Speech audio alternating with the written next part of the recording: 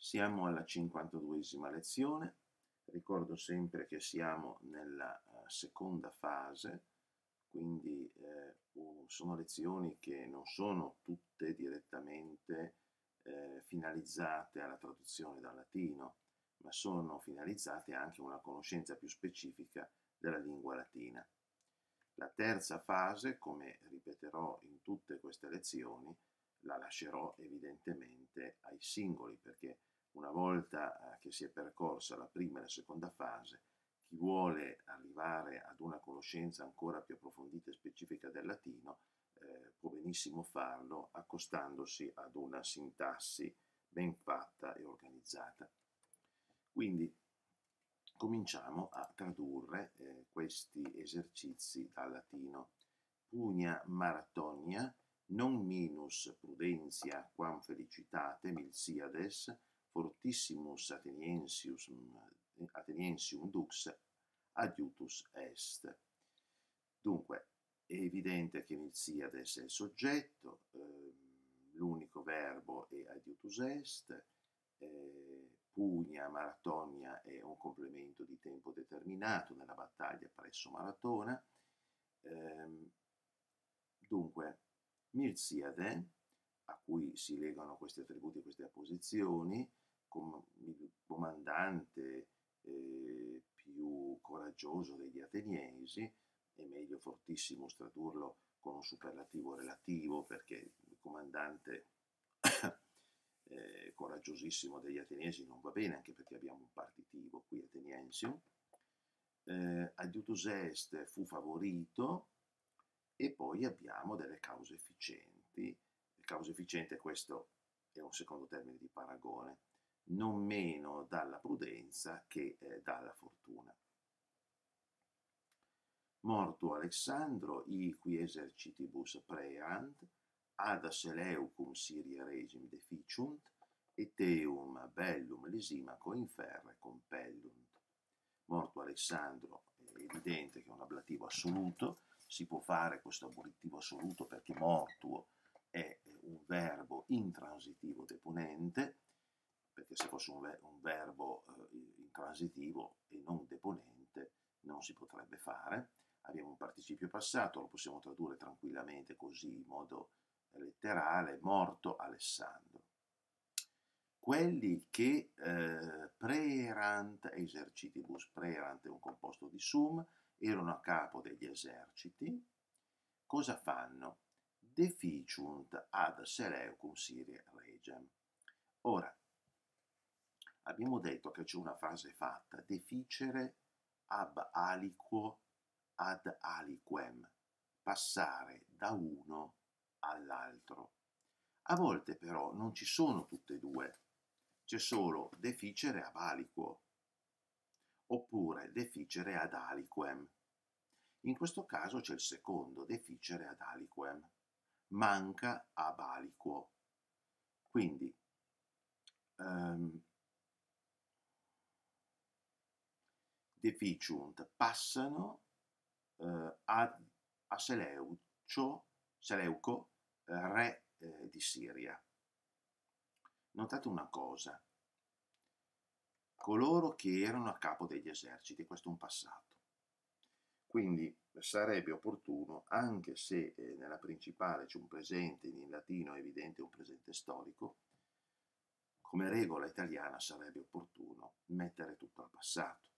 Quindi morto Alessandro, coloro che erano a capo degli eserciti passarono a Seleuco, re della Siria, e compellunt, e eh, compellunt eum e lo spingono, e quindi lo spinsero, a portare guerra a Lisimaco. Inter omnes constat Cicerone in exilium pulsum, ita animo defecisse ut reditum desperaret. Inter omnes constat è la frase fatta, vuol dire tra tutti consta, quindi tutti sanno che Cicerone, pulsum, vedete, legateli e i casi, Cicerone cacciato in esilio, defecisse. Deficere animo vuol dire perdersi d'animo. si era perso d'animo ita ut, a tal punto che disperò del ritorno. Vedete, despero, eh, poteva anche esserci depio ablativo, ma in ogni modo despero regge l'accusativo reditum. Octavianus et Antonius ut Caesaris mortem ulciscerentur Brutum et Cassium secuti ad Philippos profligaverunt. Qui abbiamo una uh, subordinata, ut Cesaris, mortem ucciscerentur, ucciscor, regge eh, l'accusativo, vuol dire vendicarsi, ucciscor è un deponente, quindi forma passiva significato attivo, per vendicarsi della morte di Cesare. Poi andiamo alla principale. Ottaviano e Antonio secuti brutum et cassium. Dunque, secuti è un participio passato, secur, securi, secutus sunt sequi, è un participio passato eh, di, di, un verbo deponente. Se voi andate a cercare la mia regola sul participio passato nel manuale, c'è sia la lezione sia il manuale scritto, eh, i participi passati di verbi deponenti hanno valore attivo. Quindi, avendo seguito Bruto e Cassio, seguiti Bruto e Cassio, come volete voi, seguiti Bruto e Cassio, avendo seguito Bruto e Cassio, profligaverunt, lì sconfissero, ho aggiunto un lì, il latino non meteos, è sottinteso, lì sconfissero ad Filippos o apud Filippos presso Filippi.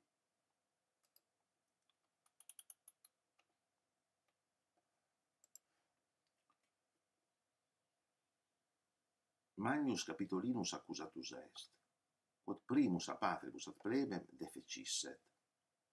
Vedete, già subito notate deficere. A ab aliquo ad aliquem. Quindi Magno Capitolino fu accusato, e qui non c'è nessun problema, quod primus, perché per primo, ma vedremo anche dopo un'altra traduzione, deficisset era passato dai senatori alla plebe. Ma potrebbe anche essere un quod dichiarativo. Fu accusato di essere passato, a metto forma implicita. Per primo, dai senatori alla plebe.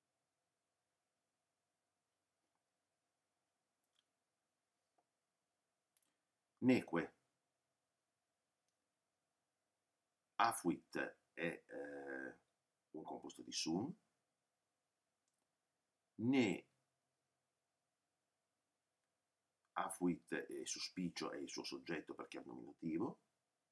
Ne venne meno il sospetto che, vedete questo queen, il queen per lo più regge una dichiarativa, una complementare diretta, eh, una esplicativa, cioè sta, sta spiegando questa subordinata in che cosa consiste questo sospetto. Che lo stesso appeteret regnum, vi ricordate, peto, poteva anche essere scritto semplicemente peteret, peteret regnum, c'è un uh, composto di peto che sostanzialmente vuol dire la stessa cosa, che lui stesso aspirasse al regno Appeto regge l'accusativo, tra i vari significati di peto c'è anche aspirare a qualcosa. Cesar ad lingonas litteras misit, ne ilvetios frumento, neve alia re juvarent, si juvissent, se eos eodem loco coelvetios abiturum esse dicebat. Allora Cesar misit, Cesare eh, inviò una lettera ai Lingoni. Eh, lettera, io l'ho tradotto al singolare perché non mi pare il caso tradurlo al plurale. Voi sapete che lettera al singolare non vuol dire lettera come missiva, ma lettera al singolare vuol dire lettera dell'alfabeto. Quindi un litteras plurale può tradurre sia lettera che lettere, però mi pare che qui abbia mandato una lettera, no? Ne juvarent Elvezios affinché non aiutassero, non fossero di aiuto agli Elvezi. Iuvo, anche questo legge l'accusativo.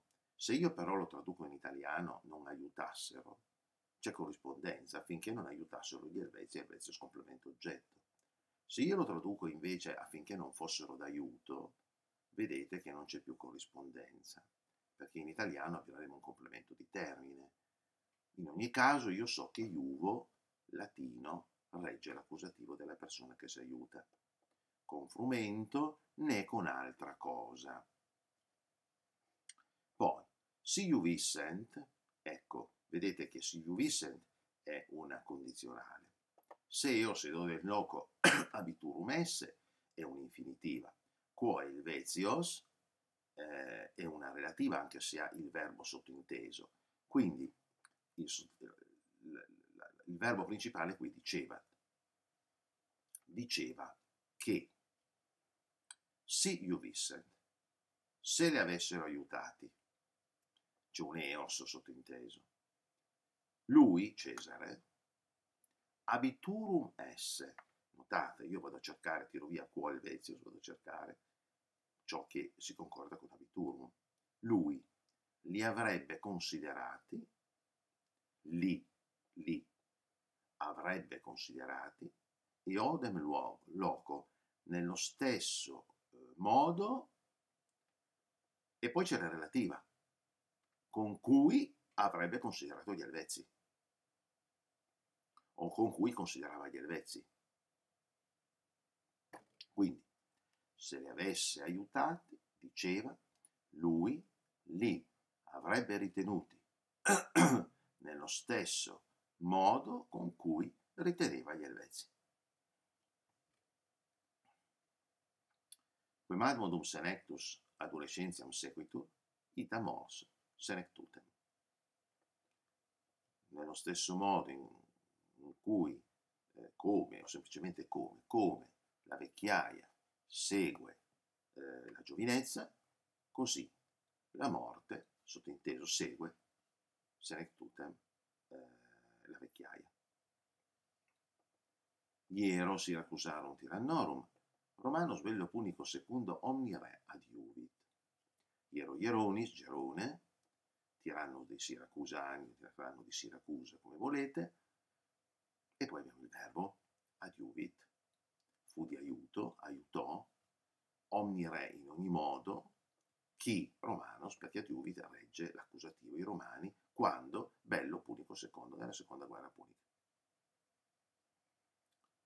Tradunt cincinnatum cum equos vicisset, ut invidiam civium effugeret, se dictatura abdicavisse. Allora, c'è un cum vicisset come congiuntivo, c'è un ut effugeret e abbiamo una finale. Poi abbiamo tradunt che è la principale, che regge un'infinitiva cincinnatum abdicavisse se dittatura tramandano che Cincinnato abdico dittatura, vuol dire rinunciare, eh, regge l'ablativo anche, no? eh, tra le altre reggenze, eh, tramandano che Cincinnato abbia eh, rinunciato alla dittatura. Cum vicisset ca equos, avendo vinto gli equi. Io metterei una forma temporale dopo aver vinto gli equi. Ut e fuggere, per sfuggire, e fugio regge l'accusativo, per sfuggire a che cosa? All'invidia dei cittadini. Vedete che c'è o eh, invece di sfuggire all'invidia, io potrei tradurlo con fuggire, per fuggire l'invidia. Allora abbiamo concordanza anche in italiano, fuggire mi regge un accusativo, però sta meglio decisamente sfuggire per sfuggire a che cosa, il latino, l'italiano il complemento di termine, il latino l'accusativo. Maximum erat augurum ius qui, homine adverso, decernere potera tutti ipsi consules a populo creati magistratum abdicarent. Ius, diritto. Il diritto degli auguri era grandissimo. Eh, mettiamo auguri alla fine in modo da legargli il qui, augurum cum, quindi grandissimo era il diritto degli auguri che adverso homine, omen hominis è il presagio, adverso contrario, questo è un ablativo assoluto dove c'è il verbo essere sottinteso, quando il verbo essere sottinteso ha valore di participio presente, quindi vuol dire essendo, essendo un presagio contrario. Poi, voi sapete che l'ablativo assoluto è una, sempre una subordinata che può avere tantissimi valori, tra i quali può esserci la subordinata condizionale. Quindi il diritto grandissimo era il diritto degli auguri che eh, se ci fosse eh, un presagio contrario, poterant decernere, potevano stabilire ut che, questo ut non è finale, eh, gli stessi consoli creati dal popolo abdicare magistratum, si allontanassero dalla magistratura, abbandonassero la magistratura. Vergilius, poeta, affirmat, non omnes arbusta delectare et humiles, miricas.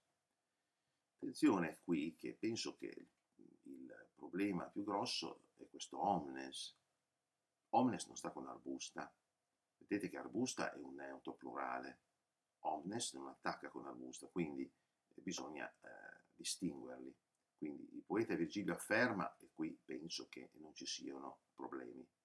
Poi c'è l'infinitiva e c'è eh, delectare. Ora abbiamo, attenzione, il problema che abbiamo una serie di accusative, essendo nell'infinitiva sia il soggetto sia il complemento oggetto eh, vanno in accusativo.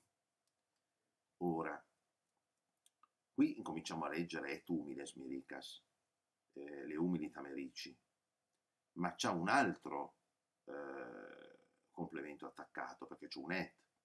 E dove sono? Dov'è l'altro complemento? Arbusta. Ehm, letteralmente quindi sarebbe che eh, gli arbusti e le umili tanerici non delectant, non dilettano tutti. Oppure potrebbe anche essere, in modo più libero, che non tutti amano eh, gli arbusti e le umili tamerici.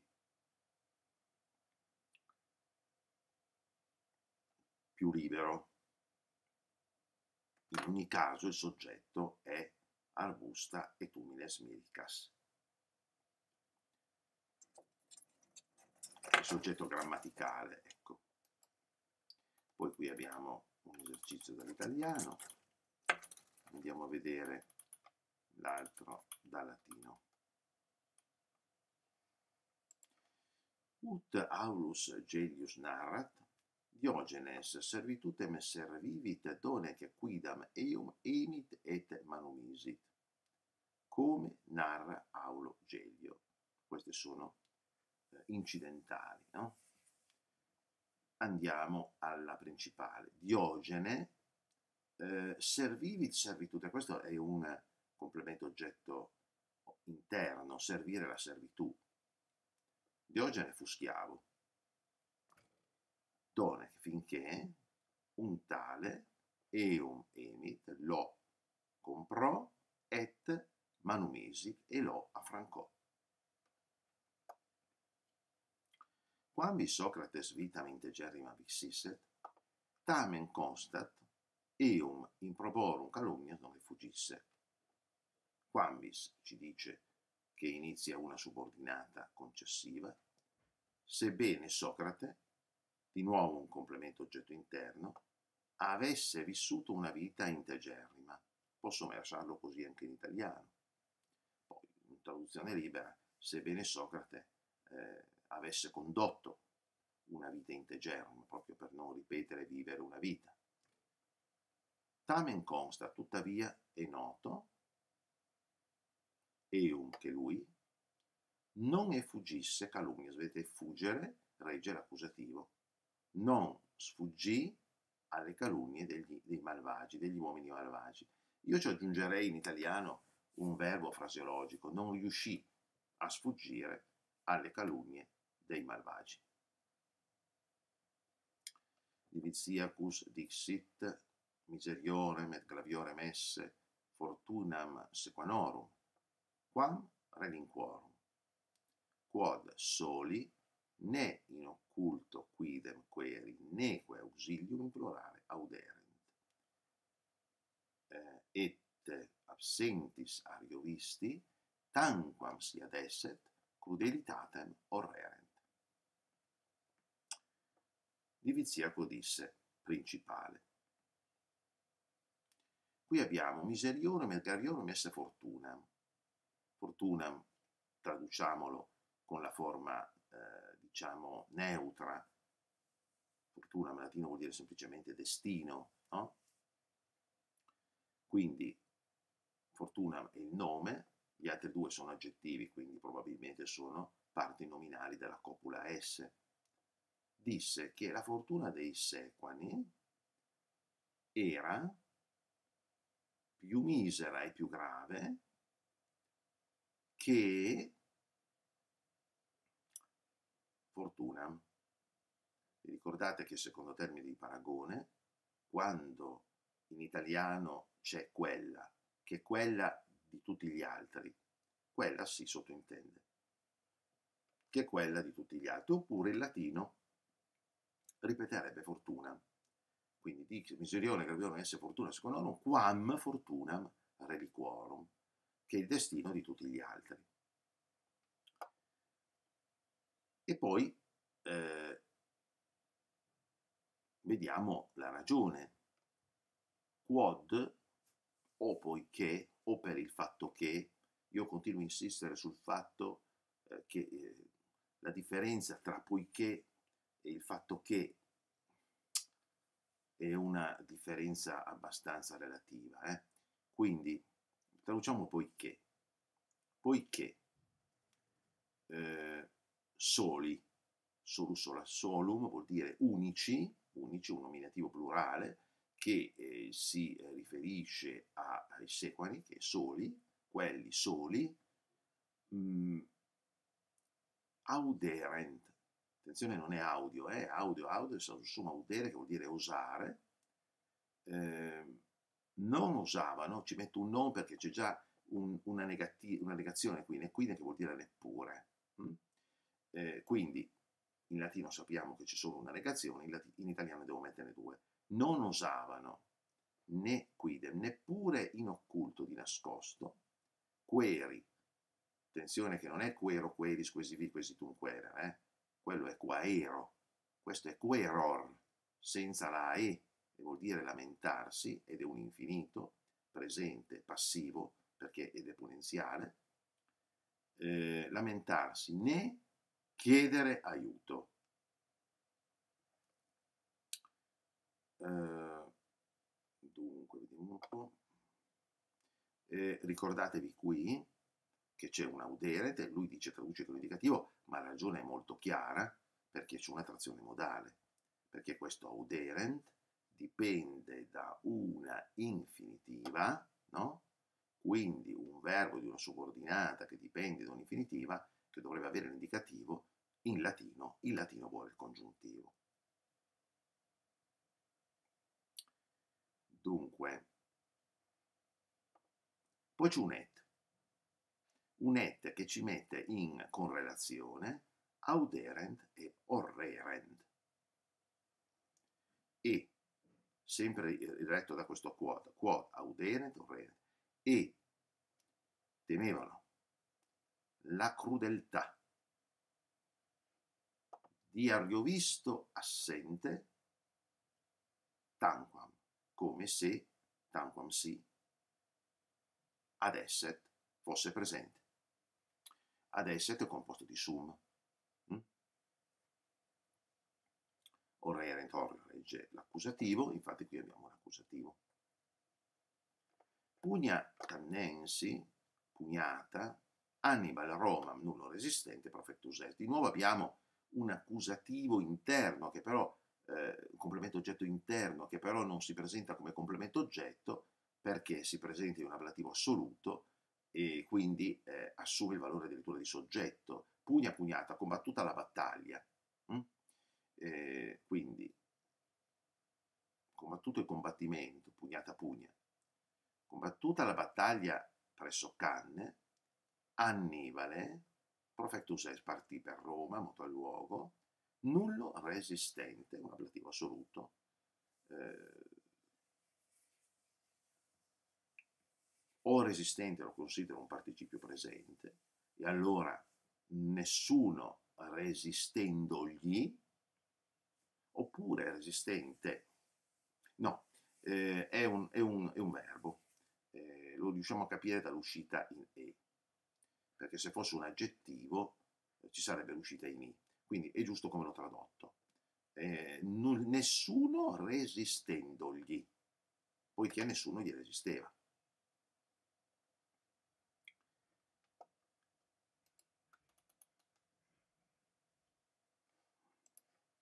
Magno cum impetu, cortes nostre sinistrum ostium cornu, circum venerunt, et eos atergo sunt ad orte. Dunque, magno cum impeto è un complemento di modo, col cum interposto, con grande impeto, le nostre coorti, eh, circumvenerunt, circondarono, che cosa? Cornu sinistrum, eh, il lato sinistro dei nemici. Attenzione che cornu è un nome della quarta declinazione neutro, e fa U in tutte le uscite tranne del singolare, tranne il genitivo. Quindi eh, sinistrum è anche un complemento oggetto. Poteva essere un soggetto, un complemento, eh,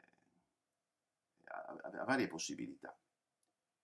Dunque, e teosater e ad orte sunt, attenzione ad orior, e li attaccarono a tergo alle spalle. Tradunt Alexandrum, cum asiam fere totam subegisset, macedonum amores fastidire cepisse. Tramandono che Alessandro, tradunt la principale, Alessandro inizia con l'oggettiva, e poi c'è un accum narrativo, avendo sottomesso pressappoco tutta l'Asia, quasi tutta l'Asia.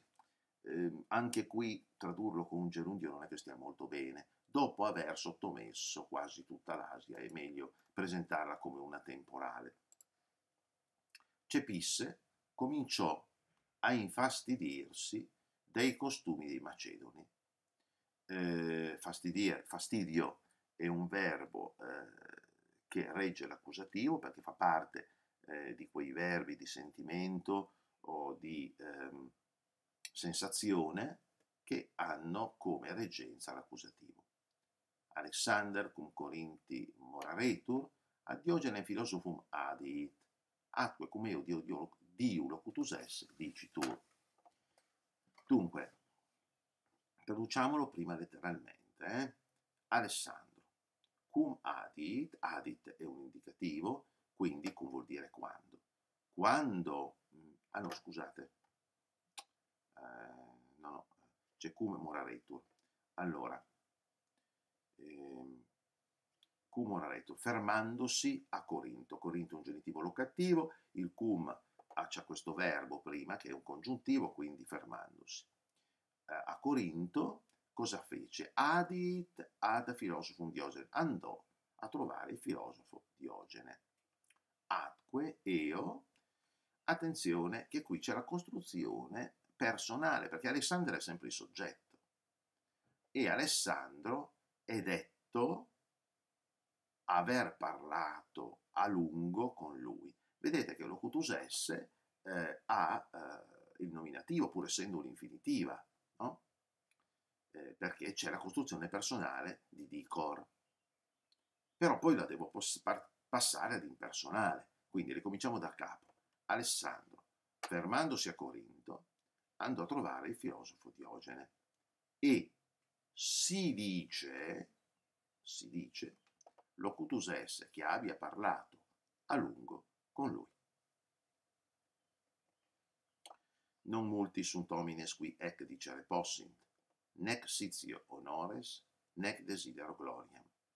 Non sono molti gli uomini che possono dire queste cose. Qui c'è un posto congiuntivo perché dà il senso della potenzialità, della possibilità. Nex Sizio, non ho sete di onori né desidero la gloria. Sizio, vedete, non desidero onori, eh, non ho sete di onori, ehm, vedete che regge l'accusativo perché Sizio è un verbo che regge l'accusativo. Sallusti scrivendi genus redolet antiquitatem, nam ut supra opera ornaret, ut sua opera ornaret, sepe antiquis verbis usus est. Dunque, redolet vuol dire puzzare, no? sentire, risente. Il genere dello scrivere di Sallustio, poi dello scrivere sta male, vedete che è un gerundio, no? Al genitivo, io traduco con l'infinitivo. Il genere letterario di Sallustio eh, sente, risente di antichità, puzza di antichità. Nam, infatti, ut ornare opera sua, per ornare le sue opere, spesso usus est, ut rutere usus muti, eh, usò, è un deponente, regge l'ablativo, lo vedremo poi quando affronteremo l'ablativo, assieme a fungor, furor, utor, fluor, fungor, pozzo tedesco. E quindi antiquis verbis usò parole, vocaboli antichi. Stella Veneris, cum solem ante greditur, Lucifer dicitur, cum solem sussequitur, Esperus. La stella di Venere, cum ante greditur, cum con l'indicativo vuol dire quando precede il Sole, dicitur è chiamata Lucifero. Lucifero è un complemento predicativo del soggetto di stella quando segue il Sole è chiamata Espero. Milites regem Alexandrum in ipso flora juventutis extinctum ingenti gemitu deflebant. Milites, andiamo a cercare il verbo deflebant. I soldati piangevano. Chi piangevano? Regem Alexandrum, il re Alessandro. Cosa si attacca a Alexandrum? Extintum. Morto, in ipso flore juventutis, nello stesso fiore della gioventù, e poi c'è ingenti gemitu, che da attaccare a uh, piangevano. Piangevano con grandi, mettiamolo al plurale, con grandi gemiti. Poi abbiamo la dodicesima, Sallustius narrat, iugurtam multitudine numidarum auli castra circumvenisse. Sallustio narra che Giugurta avesse circondato con una moltitudine di Dumidi l'accampamento di Aulo. Anche qui Aulo, eh, se uno non sa esattamente cosa sia Auli, eh, è necessario che lo cerchi sul vocabolario perché Auli fosse un paese, una città, potrebbe essere un genitivo locativo. Quindi si va a cercare Aulus e sul vocabolario si trova che è un nome romano. Tradunt Annibalem puerum, patris iussu, hoc ius iurandum iuravisse, se nunquam in amicizia cum romanis fore. Tramandano è la principale, poi abbiamo eh, l'infinitiva. Eh, che Annibale, ragazzino, bambino, iussu patris, per ordine del padre, iuravisse hoc ius iurandum, abbia giurato questo giuramento. Io posso tradurre liberamente, abbia fatto questo giuramento. Ed è questa la prima infinitiva. Poi abbiamo una seconda infinitiva che dipende dalla prima se che lui, fore è l'infinito futuro del verbo essere, non sarebbe stato mai, nunca, nell'amicizia, in amicizia con i romani. Ecco, poi abbiamo due, eh, i due esercizi che eh, ho tradotto dall'italiano in latino. Mi raccomando sempre se trovate degli errori perché eh, vedete faccio tutto io.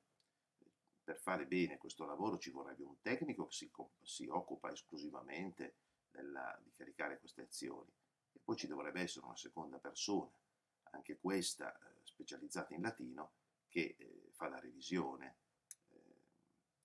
dovrebbe revisionare, altrimenti gli errori eh, vengono fuori, le sviste, ehm, quindi se ne trovate qualcuna fatemelo sapere, io non mi offendo, sono contento che... Poi abbiamo la nuova lezione, che sono genitivo di pertinenza, qualità e partitivo, eh, aggettivi con il genitivo, e qui ci sono poi di nuovo le versioni per la prossima lezione. Dunque, eh, primo argomento, eh, apriamo un secondo caso che è il caso genitivo il primo argomento che eh, desidero affrontare è eh, il genitivo con gli aggettivi. E ehm, io l'avrei avrei volentieri ehm, superata, non l'avrei affrontata questa lezione e spiego anche il perché. Mi ricordo quando ero ragazzino e studiavo questi verbi e bisognava saperli, allora vedete che sono sottolineati, ah, facevo terza media allora, tutti sottolineati, i più importanti, cubido, studioso, savido, conoscenza ignorante, imperito. Poi eh, io mi trovavo spesso eh, di fronte a delle difficoltà che eh, erano queste. Studiavo questi verbi che dovevano reggere il genitivo e poi mi ritrovavo con altri casi. Per cui una grande confusione, cioè prima mi dovevo studiare tutti i verbi che reggevano il genitivo, poi dovevo capire una serie di eccezioni ufficiali e non ufficiali, per cui molto spesso da latino questi verbi, questi aggettivi si trovavano con altri complementi. Quindi, proprio per questa ragione li voglio affrontare, perché eh, se qualcuno si mette a, a, a studiarli, e poi eh, si trova in situazioni, facciamo degli, facciamo, eh, degli esempi. Peritus. Peritus vuol dire esperto, pratico dell'arte militare, anche in italiano abbiamo un complemento di specificazione, se si vuole considerare specificazione, peritus rei militaris. Però se io vado a cercare sul vocabolario peritus, c'è anche dell'ablativo, c'è anche l'ablativo semplice, perché? Perché pratico dell'arte militare può anche essere un complemento di limitazione. Potrebbe anche essere un complemento di argomento. È meglio limitazione che argomento. Eh? Però eh, c'è questa eh, possibilità di trovare altre, altre, mh, mm, altre reggenze in questi, in questi aggettivi. Eh, ad esempio expers, privo. Privo regge il genitivo, va bene, eh, però privo potrebbe reggere anche l'ablativo perché regge il complemento di privazione. Ad esempio qui, plenus diviziarum.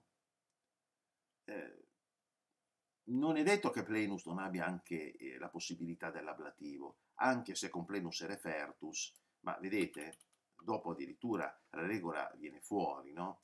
Refertus e plenus ha generalmente il genitivo se si tratta di persona, ma l'ablativo se si tratta di cosa. Perché? Perché l'isola è piena di ricchezza, ricchezza è un complemento di abbondanza. Ecco perché viene messo in ablativo. Il foro era pieno di mercanti, non possiamo pensare che a questi mercanti siano una massa di roba che viene messa lì, non viene considerato come un complemento di abbondanza, ma viene considerato una specificazione vedete, ci sono tante, tante, al sacer proprio communis, si trovano anche, anche col dativo, sacro ad Apollo. Quindi sacer Apollini, ma c'è anche sacer Apollini. Quindi una serie di aggettivi che reggono il genitivo, ma hanno mille altre possibilità, no? E si trovano sul vocabolario. Pensate alienus, eh, un esempio che ho voluto mettere.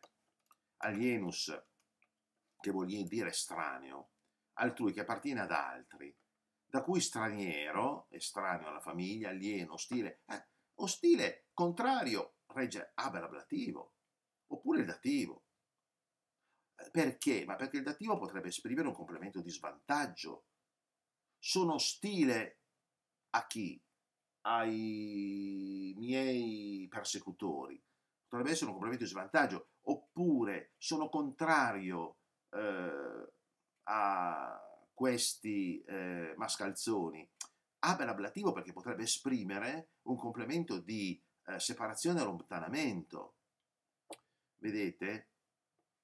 Sconveniente, anche qui col valore di sconveniente, cioè qui, eh, voi capite che alienus regge l'accusativo e va bene, e il genitivo va bene, però eh, c'è l'ablativo, c'è il dativo, eh, insomma diventa poi difficile eh, ricordare tutte queste possibilità. Se poi andate a cercare sul vocabolario questi aggettivi, li vedete con tantissime altre reggenze, quindi non so fino a che punto questa lezione può essere utile. È utile nella misura in cui io penso di mettere eh, chi mi ascolta nella consapevolezza della, della complessità dell'argomento.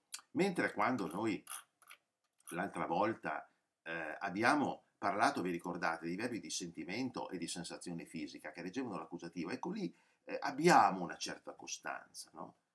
Doleo, mi dolgo, oppure sensazione fisica, odore o sapore di, lì abbiamo una costanza, nel senso che questi, eh, questi verbi hanno, verbi di sentimento e di sensazione, hanno effettivamente una reggenza con l'accusativo. Questi aggettivi invece che vediamo oggi, eh, la cosa eh, non è così eh, eh, semplice e abbastanza quindi nel dubbio consultate il vocabolario. Eh. Mentre ritengo che sia importantissimo il genitivo di convenienza ma molto importante. Perché? Vediamo prima come si presenta. L'ho già spiegato in un'altra lezione, eh, perché è un problema anche legato nella, alla traduzione dal latino, non tanto dall'italiano. Adesso vediamo il perché.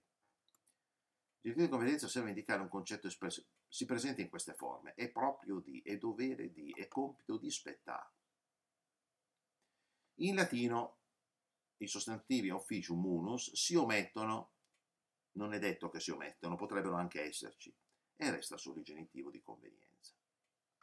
Facciamo un esempio. Est consulis. Guardate che potrebbe anche esserci scritto, è più raro, eh? est officium consulis. È compito del console. Se c'è est officium consulis non c'è problema. Il più delle volte però in latino questo ufficio, questo munus non c'è. Quindi io mi trovo es consulis e io non capisco cosa è, se non so che c'è il genitivo di convenienza, come lo traduco? È del console. Devo dire è compito del console provvedere alla Repubblica. Liberorum est è dovere dei figli venerare i genitori. Quindi è necessario ricordarla, questa regola è importante. Ricordate il verbo essere con un genitivo. Poi qui ci sono delle frasi fatte sono legate al genitivo di pertinenza. È mio e tu è nostro dovere. Non si usa il genitivo, ma si presenta così. Meum, tuum, nostrum, vestrum, Vedete che dovere? Potrebbe esserci, eh? Me un tu nostrum officium est, però per lo più non c'è. Dobbiamo ricordarci che dovere sottinteso dobbiamo tradurlo. Invece le espressioni e suo e loro dovere si traducono col genitivo eius e orum e arum, si usa sum solo in proposizioni oggettive, quando suo, loro si riferisce al soggetto della reggente. Questa è una regola legata poi, la, la, la affronteremo, all'uso del sus sum e dell'eus eorum earum. Quindi, anche questa è una cosa da ricordare. Adesso affrontiamo un argomento un pochettino più delicato, vediamo se riusciamo ad aumentare è il genitivo partitivo. Vediamo, così se riusciamo a vederlo meglio. Dunque, io ho spiegato cos'è il genitivo partitivo, l'ho spiegato sia nell'analisi eh, come complemento, sia eh, nel manuale di latino. Qui stiamo approfondendo l'argomento anche se non è, e lo si, lo si pone tutto assieme, anche se eh, non tutto proprio è legato alla traduzione dal latino, ma ripeto, ad un approfondimento maggiore della lingua latina. Io direi della lingua latina, ma anche della lingua italiana. Il genitivo partitivo ho spiegato di non confonderlo e non pensare che il genitivo partitivo indichi una parte del tutto. Sarebbe logico, no? È il genitivo partitivo. Cos'è il complemento partitivo? È il complemento che indica una parte del tutto. Assolutamente no. Il complemento partitivo è il tutto, indica il tutto, di cui un altro complemento valuta la parte. E Normalmente in italiano si presenta come complemento di specificazione. In latino, se questo di, dei, degli, delle, può essere eh, sostituito con un tra, eh, scusate, se in italiano il di, dei, degli, delle può essere sostituito con un tra, è un partitivo. E viceversa, se abbiamo un tra, un fra, e questo può essere sostituito con un di, semplice articolato, abbiamo un partitivo. Qui eh, si sta indicando, eh, vengono indicati i casi in cui si presenta il partitivo. E si dice, guarda che il partitivo può essere retto da sostantivi di cantinumero, numerus, pars, moltitudo, turba. Esempio, pars militum, una parte di soldati una parte tra i soldati, una turba tra donne, un moggio, eh, qui diventa un pochettino più difficile, eh, eh, anche perché questo non dovrebbe essere un complemento partitivo, moggio di frumento, e neanche un'anfora di vino. Mm. Dovrebbe essere un complemento di quantità, non un complemento partitivo. Sarebbe più giusto dire un complemento partitivo di quantità. Tutto questo io l'ho spiegato nell'analisi, eh? però valutiamo anche qui. Innanzitutto valutiamo che militum è il tutto di cui si considera una parte. Esempio, una parte di soldati è partita. Chi è partito? Una parte. Parte soggetto.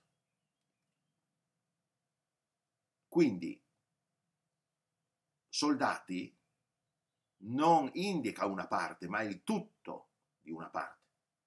Ecco perché dicevo prima, il complemento partitivo non indica una parte, ma il tutto di cui un altro complemento valuta la parte. Una turba di donne.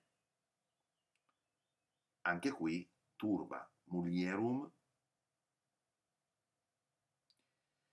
Anche qui mi lascia eh, abbastanza... Eh, io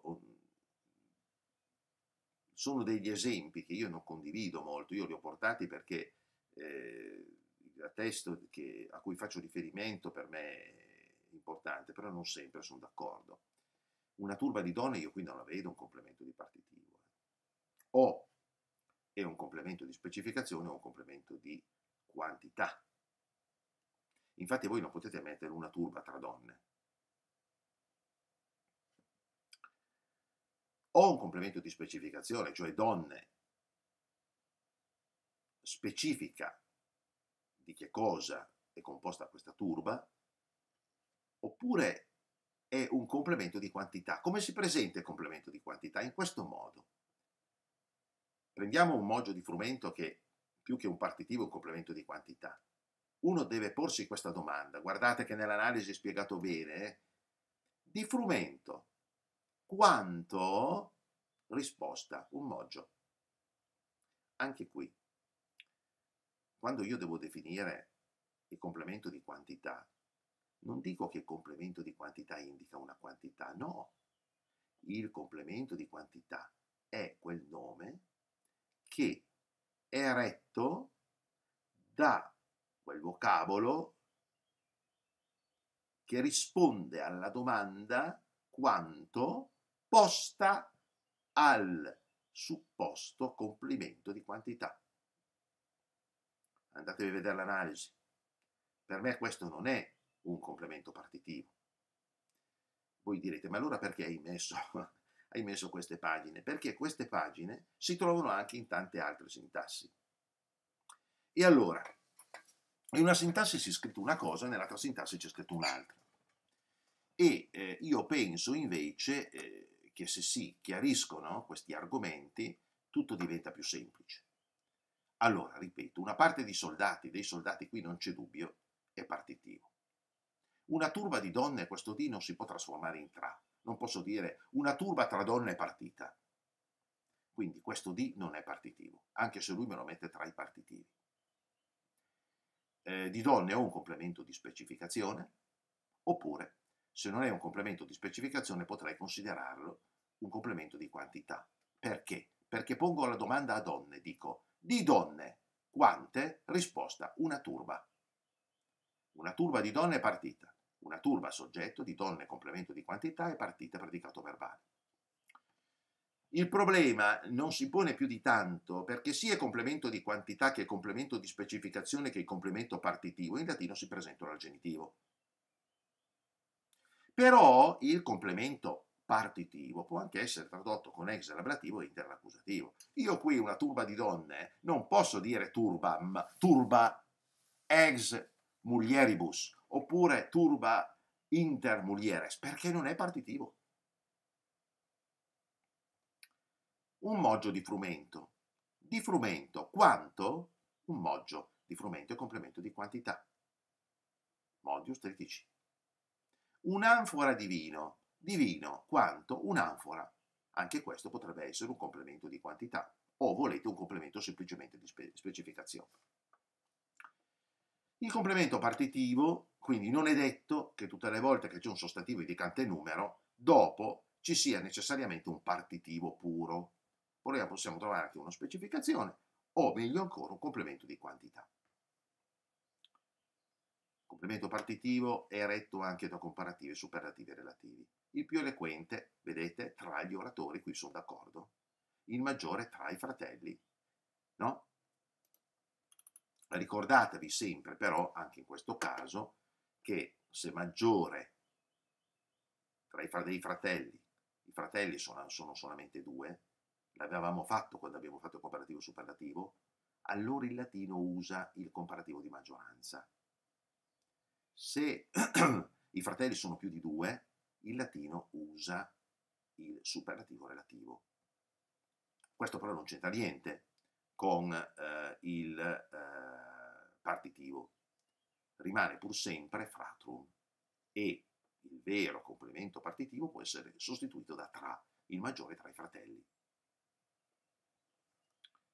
Poi, il complemento partitivo può essere anche eh, retto da aggettivo, numerali e pronomi. Dunque, Servo Tullio sesto dei re romani, sesto tra i re romani, sextus, regum romano. Chi di loro, chi tra loro? Nessuno dei soldati, nessuno tra i soldati, vedete? Con i superlativi e i numerali e i pronomi, spesso in luogo del genitivo si trova l'ablativo con ex. Questo è l'altro modo per tradurre il partitivo. Questa costruzione di regola dopo unus. Allora, il più illustre di tutti i poeti, il più illustre tra tutti i poeti, il più illustre gravissimus ex. Ma, per carità, potrei mettere eh, omnium poetarum, eh? non sono obbligato a mettere ex, oppure inter omnes poetas. Uno dei sette re, unus ex septem regibus, qualcuno dei miei amici, aliquis ex meis amicis. Ricordatevi, penso che non ci sia qui. Vediamo se c'è. No, ricordatevi anche l'altra possibilità di traduzione del partitivo che è inter più accusativo. Mm. Poi andiamo avanti. Giustamente il testo qui ricorda che nos e vos hanno due genitivi e plurali. Nostrum, nostri, vestrum, vestri. Il partitivo prende sempre soltanto nostrum e vestrum e non nostri, nostri vestri. Si ricordi che il genitivo partitivo dei pronomi personali è nostrum e vestrum. Le forme nostre e versi sono invece i genitivi oggettivi. Nessuno di noi, nessuno tra noi e non nostri. Si ricordi che i pronomi uter, ne, ricordate uter, utrac, utrunque, neuter, neuter, eccetera, reggono il genitivo partitivo, solo se sono accompagnati da un pronome, altrimenti il nome a questo punto concorda, no? Chi di loro due? C'è loro da tradurre. Chi dei due si traduce uter, loro e orum. Ma se io ho quale dei due fratelli, vedete, non abbiamo genitivo partitivo, anche se in italiano genitivo partitivo. Se io devo fare l'analisi logica in italiano, io dico quale pronome, ed è eh, un pronome interrogativo ed è soggetto, dei due fratelli è eh, un complemento partitivo più attributo. No? In latino, quale dei due si traduce utero, utero, utrum e frater, lo vedete, si accorda con uter. Diventa soggetto.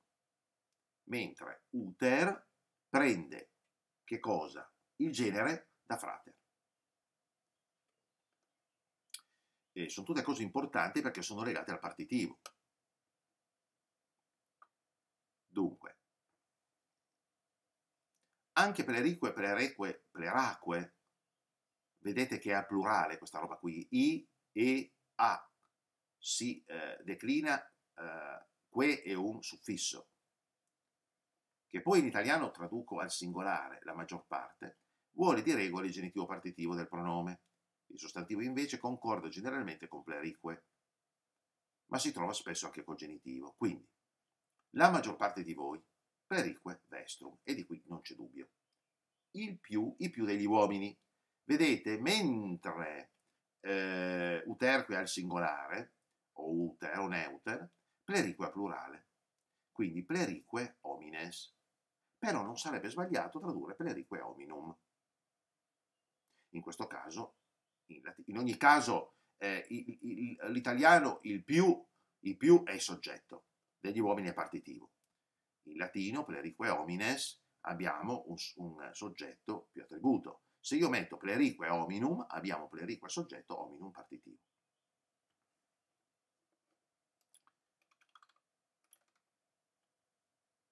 Poi lui dice,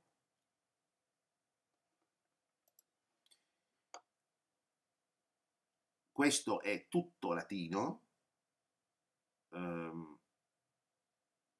perché in italiano non, non, c'è corrispondenza col partitivo.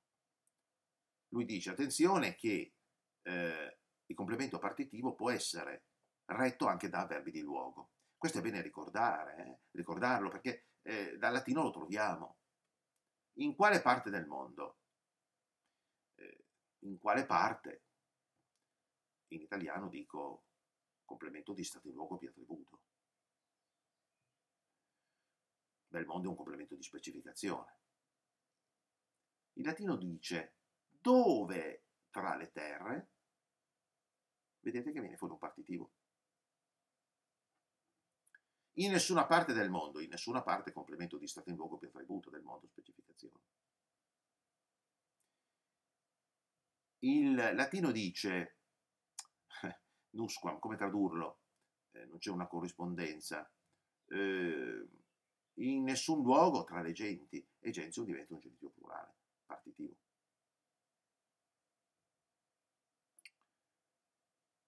Giunse a tal punto di follia questo eh, dovrebbe essere stato, avrebbe dovuto essere inserito con, gli, con questi aggettivi e pronomi neutri eh, che reggono appunto questo partitivo di quantità. Uh, a tale di insania giunse. Io, eh, se mi permettete, questo esempio portatelo sotto. Mm? Perché? Lo vediamo subito il perché. Allora, abbiamo detto alcuni verbi di, avverbi di luogo che danno origine al partitivo latino, ma non c'è corrispondenza in italiano. Poi ci sono eh, questi aggettivi o pronomi neutri. Li avevamo già visti, eh? Nil, aliquo, doc, multo, eccetera. O avverbi di quantità, parum, satis, nimis. Allora, molto denaro non è propriamente un partitivo, viene chiamato partitivo di quantità, perché vedete, non posso mettere molto di, tra denaro, eh, nulla tra di male, non, non è possibile, poco tra eloquenza. Qui viene fuori il discorso che vi ho fatto prima, del complemento di quantità. Di denaro quanto? Molto. Vedete, denaro va al genitivo. Nulla di male. Di male quanto? Nulla. Poca di eloquenza. Di eloquenza quanto? Poca. Molto spesso in italiano eh, non c'è questo di, non c'è molto di denaro, si traduce molto denaro. Non si dice poco di eloquenza, si dice poca eloquenza. Quindi il di e le sono due costruzioni tipicamente latine e per questa ragione in modo particolare si devono conoscere perché non avendo la corrispondenza in italiano, quando le trovo in latino, devo saperle tradurre. E eh, sempre su questa regola, vedete l'attenzione, sempre su questa regola, perché vedete che c'è aliquid e nil, e ci dice qui attenzione, aliquid e nil non sempre hanno questo genitivo che viene definito partitivo di quantità, ma mettetecelo quant- questa quantità vicino, perché di per sé non è un complemento partitivo, ma né in italiano né in latino. Non sempre hanno il genitivo. Qui dice, se l'aggettivo è della prima classe, dopo aliquid o nil, di solito va in genitivo, ma talvolta concorda col pronome. Qualcosa di buono, qualcosa è aliquid. Posso mettere boni oppure bonum concordato con qualcosa. Anche questo è importante, perché io trovo aliquid bonum, qualcosa buono. Bisogna saperlo che questo è un genitivo, perché fin quando trovo aliquid boni, qualcosa di buono, va bene. Ma aliquid bonum, se l'aggettivo è della seconda classe, deve sempre concordare col pronome. Qualcosa di dolce, aliquid dulce. Se vi sono più aggettivi di classi diverse, il primo aggettivo attira nel suo caso gli altri, eccetera. Questo è un'altra però è importante ricordarsi quindi eh, che di fronte a alcuni avverbi di luogo, alcuni aggettivi prominenti, abbiamo un genitivo. Questo genitivo viene chiamato genitivo partitivo, ma io sarei più propenso a definirlo partitivo di quantità o semplicemente di quantità. Con aliquid e nil non è detto che ci sia genitivo, ci può essere un accordo. Quindi questa è la regola completa che lega complemento partitivo, complemento di quantità, complemento di specificazione, complemento partitivo di quantità e eh, ci dice, con le aggiunte che ho fatto io, attenzione, non c'è solo il genitivo, ma c'è anche ex l'ablativo e inter l'accusativo. Poi abbiamo il complemento di qualità e anche su questo bisogna fare un certa, una certa riflessione, altrimenti commettiamo di nuovo altri errori. Dunque, quale riflessione? Eh, avevo già detto, affrontando eh, affrontando qui non riesco vediamo se riesco a, a ecco oh, perché se no non riesco ad andare sotto Benissimo. Benissimo. Avevo detto che anche quando ci sono le determinazioni di peso, misura, tempo, numero, se questa determinazione è retta da un nome o dal verbo essere, non è più complemento di età. Un bambino di 10 anni, di 10 anni propriamente, non è un complemento di età, è un complemento di qualità, perché è retto da bambino. Eh, una fossa di 10 piedi, di 10 piedi, proprio perché è retto da un nome, non dovrebbe essere un complemento di estensione, ma un complemento di qualità. Queste sono, voi mi dite, ma sono dei formalismi? Sì, però mi aiutano a capire certe cose. Dunque, innanzitutto andatevi a vedere il mio complemento di qualità, da non confonderlo con altri complementi. Eh? Non confonderli con complementi di modo, no? non confonderli con... Eh... Il genere di qualità si usa per indicare proprietà caratteristiche di una persona, di un animale, di una cosa. Si ricordi però che non sempre il complemento di qualità si traduce col genitivo. E vediamo queste due distinzioni. Sempre il genitivo nelle determinazioni, vedete? peso, misura, tempo, numero, età, eccetera. Un vaso di gran peso è una determinazione concreta, se voi vedete. Vas mani ponderis. Una flotta di 30 navi, classi Trigintanavium.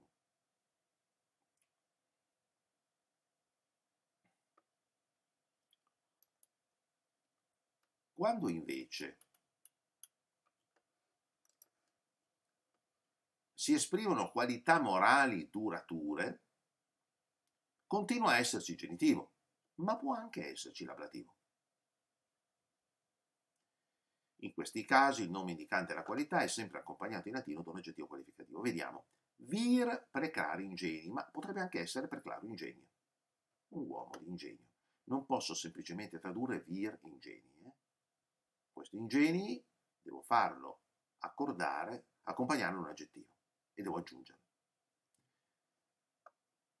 Sempre l'ablativo quando si esprimono qualità fisiche oppure qualità morali transitorie. Vedete, Agesilau fu di bassa statura, questa è una qualità fisica, Agesilaus fuit, statura umili, e abbiamo in ablativo. State di buon animo, state di è stote, eh, l'imperativo futuro del verbo essere che sostituisce l'imperativo presente, di buon animo è una qualità dell'animo, qualità morale, transitoria, e quindi viene messo in ablativo semplice. Eh, siamo sempre lì. Forse tutte queste distinzioni non sono importanti eh, per la traduzione dal latino, ma per una consapevolezza e una eh, chiarezza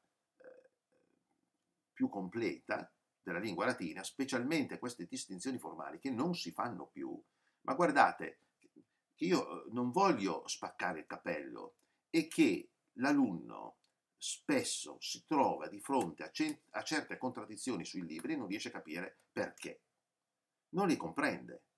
Non le comprende perché non ci sono queste distinzioni chiare. Ricordatevi dunque le distinzioni di qualità, qualità ce l'abbiamo anche peso, misura, tempo, eh, spazio, età, quando è letto nome, verbo essere, e tutto il discorso che riguarda il partitivo, quando non è di per sé complemento di, quanti, di partitivo, ma è complemento di quantità, oppure quando è complemento di eh, partitivo di quantità. Vedete, queste distinzioni secondo me sono importanti per fugare ogni dubbio a questo proposito. E abbiamo finito.